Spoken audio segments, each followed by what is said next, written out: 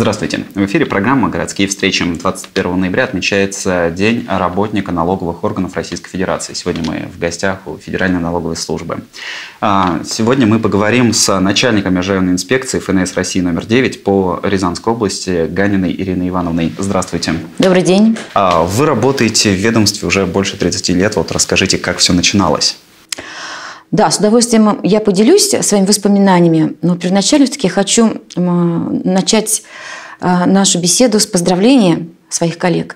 Рязанская область очень довольно-таки эффективно сработал, налоговые органы Рязанской области эффективно сработали. Эффективность она определяется разными критериями. Одним из э, самых важных критериев является поступление налоговых платежей э, в бюджеты всех уровней. А, так вот, Рязанская область достойно выполняет этот показатель. Налоговики постарались, и поступления у нас имеют положительную динамику. А, и в связи с чем экономика Рязанской области развивается дальше и реализуются национальные проекты. Эффективность деятельности службы достигнута в первую очередь сплоченной работы нашей команды. А, команда у нас дружная, команда у нас трудоспособная. А, и сотрудники нашей команды являются профессионалами своего дела. Поэтому я от всей души поздравляю своих коллег за конструктивное взаимодействие, за их э, преданность работе. Я поздравляю ветеранов, тех, кто были первопроходцами в нашей службы. Я желаю им крепкого здоровья, я желаю мира, я желаю удачи в работе на благо развития нашей страны и нашего Рязанского края.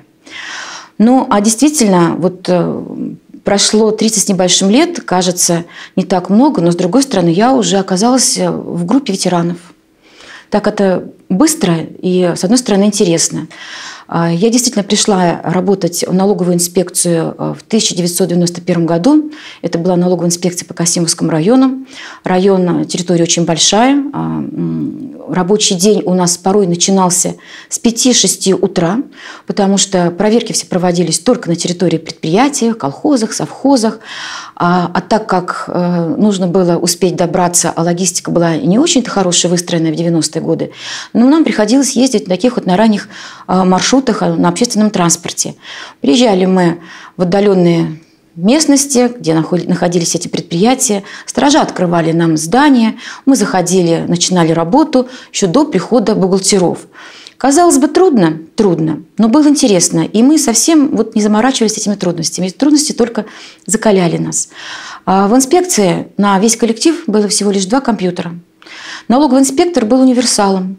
Мы занимались всем. Мы принимали балансы от налогоплательщиков, мы принимали отчетность на бумажном носителе от налогоплательщиков, мы работали с этой отчетностью, мы составляли свою отчетность также вручную, мы давали консультации налогоплательщикам.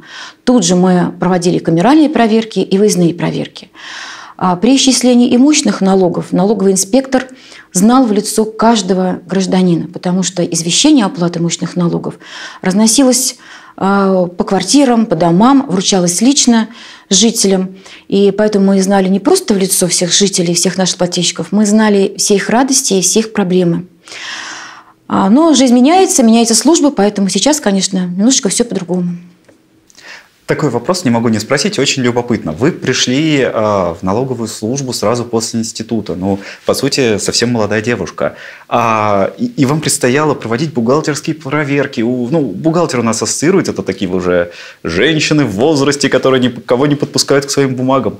Как, вот, э, как реагировали на вас вот такую вот ну, девушку, как удавалось искать общий язык, и легко ли это получалось или нет? Было легко, потому что во-первых, нас было очень много таких молодых, потому что служба только создавалась, только набирался штат. И у нас было два наставника. Вот на всю инспекцию налоговую у нас было два наставника, которые направляли нас. Поэтому никакой ревности между нами абсолютно не было. Было лишь желание друг перед другом быстрее научиться и быстрее разобраться во всех новеллах, которыми мы вот столкнулись. Какие события запомнились больше всего вот за весь период? За 30 лет было очень много запоминающих событий, тем более, когда я человек очень активный во всем, поэтому событий очень много. Поэтому, наверное, я а, на этот вопрос ответ свой разделен на две части. Событие, которое касается чисто налоговой службы, но это, конечно, самое яркое событие, насколько динамично и быстро развивалась а, наша служба, насколько быстро менялись мы. Порой мы не знали о своих резервах, а, давали задания, сделать нужно быстро и сейчас, и мы думали, нет, не справлюсь, нет, не справлюсь, нет, не получится. Справлялись, и все получалось. Вот это яркое событие на протяжении всех 30 лет.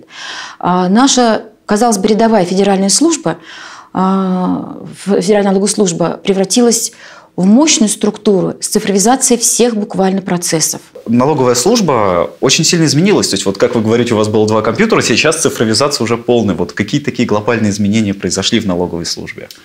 Да, действительно, государственная налоговая служба создавалась в начале 90-х годов. А, были сложные экономические времена, и распад страны СССР, а, разрушились экономические, финансовые связи. Было очень сложно, но довольно-таки очень быстро а, была организована новая административная система, была система законодательных актов создана. Поэтому как-то мы очень, очень быстро перестраивались. На сегодняшний день мы взаимодействуем с 95% всеми налогоплательщиками уже в электронном виде. То есть это практически уже 100%. Изменились оснащение инспекции. Сейчас инспекции превратились в настоящие аналитические центры. Налоговый инспектор, э, у налогового инспектора на рабочем месте есть возможность доступа к 170 информационным ресурсам.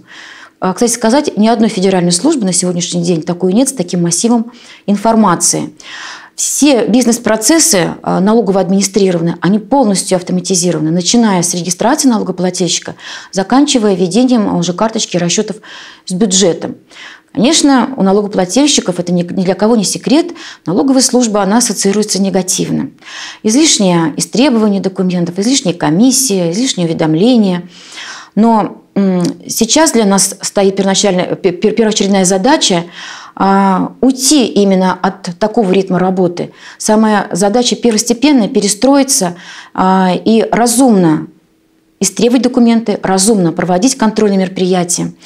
А, в этой части Федеральной налоговой службы именно вот в текущем году был принят манифест, который, кстати, презентовался в июне месяце здесь, на территории Рязани.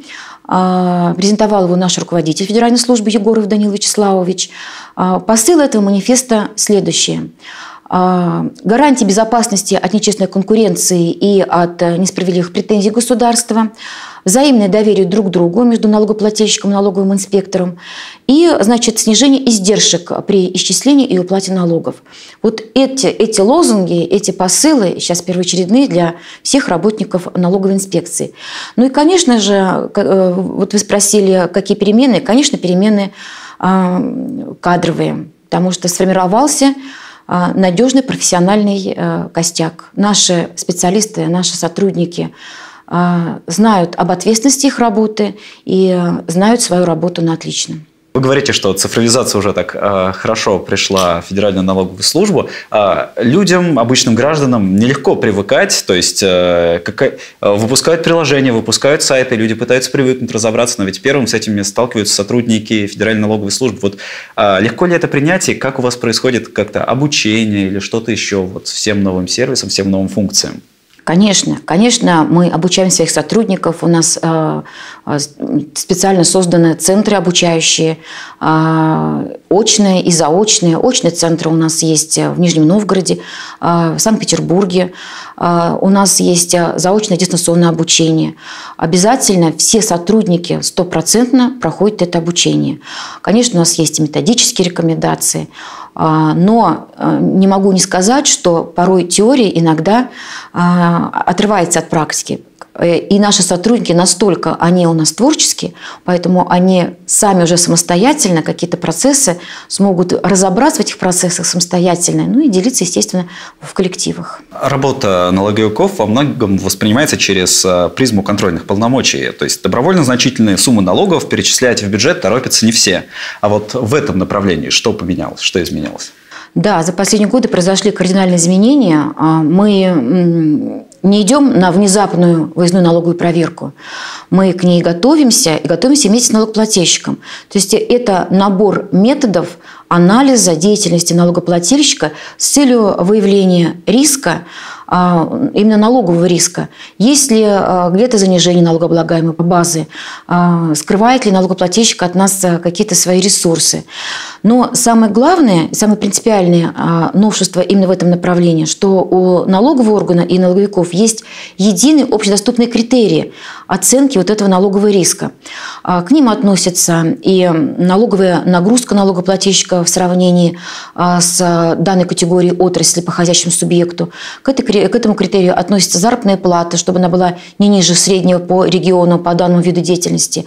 К этому критерию относятся и убытки налогоплательщика, если убытки заявляются на протяжении нескольких отчетных периодов. Это и обстоятельства, обстоятельства которые свидетельствуют о получении необоснованной налоговой выгоды. То есть их много критериев, и они открыты и для налогоплательщика, и для налогового инспектора. Мы оцениваем по этим критериям риски плательщика. И если такие риски выявляем, мы убеждаем налогоплательщика, а, что необходимо подать уточненную декларацию, уточниться и заплатить этот налог. И вот если налогоплательщик при условии, что а, не уточняется, не платит, а его аргументы не обоснованы, вот только тогда мы входим на выездную проверку.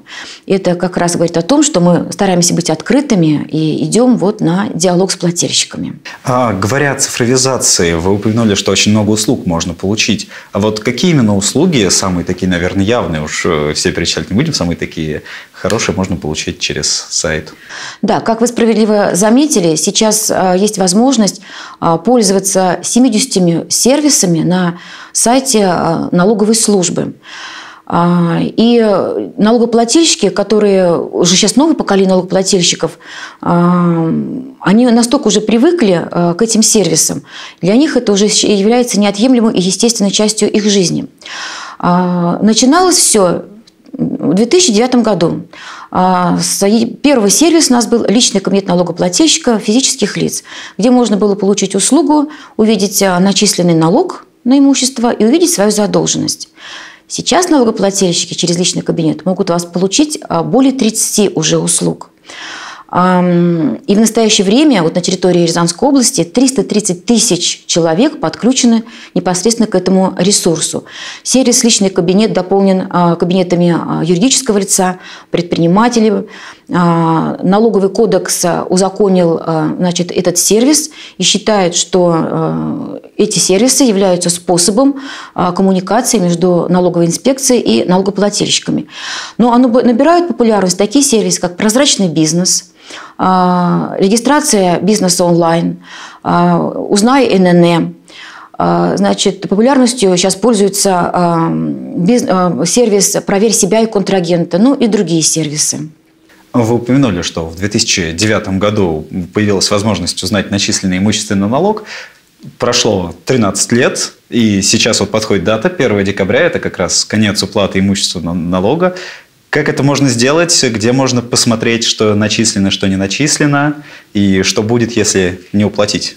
Да, конечно, всем известно, что налоги – это та э, разумная цена, которую мы платим для того, чтобы жить цивилизованно.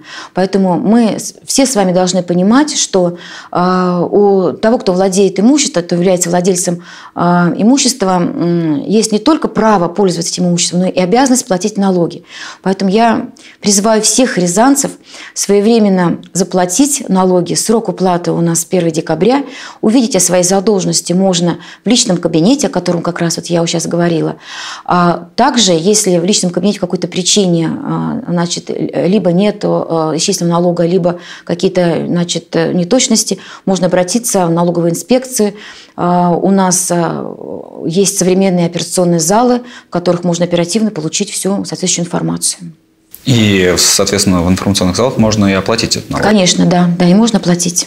Мы начали с вами с поздравления сотрудникам налоговой службы. А что желают сотрудникам налоговой службы? Может быть, есть какие-то такие особенные тонкости, которые вот только для сотрудников налоговой? Что желают нам? Знаете, нам желают, как правило, терпения, но я очень не люблю это желание. Потому что мы на своей службе, мы не терпим. Мы любим свою службу, мы э, отдаем ей все свои силы, всю свою душу, но и здоровье тоже в той, в той, в той, в той же части. Но почему-то нам желают больше терпения. А что бы вы пожелали тогда вот сотрудникам? То есть такое особенное, что знают только вот сотрудники Федеральной налоговой службы, что вот чего может быть нужно больше, чего не хватает, может быть, да. Я уже вначале пожелала, да, значит, здоровья, мира, это все актуально сейчас. Но я желаю э, и своим коллегам, и э, в том числе и налогоплательщикам а, научиться доверять друг другу. Нам научиться доверять плательщику, а плательщику доверять а, налоговой службе. И тогда работа немножко будет строиться по-другому, и будет более тесное взаимопонимание. Ирина Ивановна, спасибо, что стали гостем нашей передачи, ответили на интересующие нас вопросы. А на этом мы с вами прощаемся. Хорошего вам дня и до встречи в эфире.